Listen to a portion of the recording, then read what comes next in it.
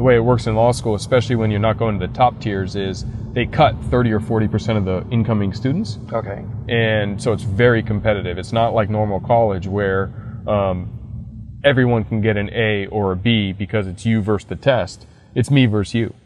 So if there's 100 kids in the class, the top 10 are going to get an A. Correct. The next 40 or 50 are going to get the B's and C's, and then the bottom 30 are going to fail.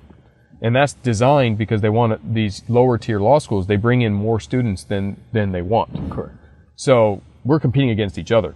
So if it- Regardless of our, of our grade. Correct. So if it's a multiple choice test and there's 100 questions and 90% of the class gets 98 of them right and I get 97 out of 100, I'm going to fail because it's curved. So because of that, it's very competitive. And again, luckily, my background of growing up playing competitive sports and, and all that, it didn't intimidate me and I was successful and I finished in the top 10% of my class, which allowed me to, because also to, to transfer, you need to be in the top 10%. Okay. So I went into law school at 21 and finished top 10% and transferred to San Diego for my second and third year. Wow. Yeah, Wow. yeah. Are you using your law degree by any by any chance? Well, I use it. I use it in a more abstract way. Yes, I use it every day because law school taught me a lot of things. It taught me analytical thinking. It taught me to look at problems from both sides.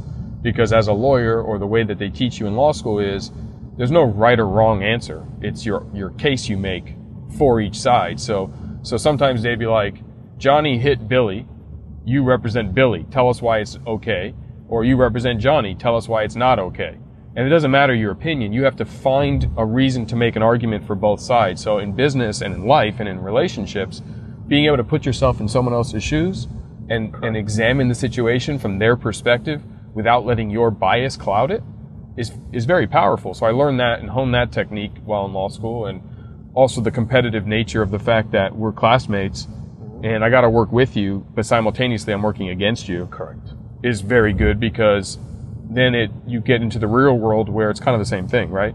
Um, I have competitors in every industry I've ever entered, and while we work simulta- uh, you know, with synergies because a, rise, a rising tide does lift all boats, at the end of the day, they're still competitors. Correct. So learning and understanding how I can work with you but against you at the same time in a good way, and then just the sheer amount of work that law school has, where they overload you with so much information and so much reading and so many assignments um, that you have no choice but to work your ass off, and if you don't, you're going to fail.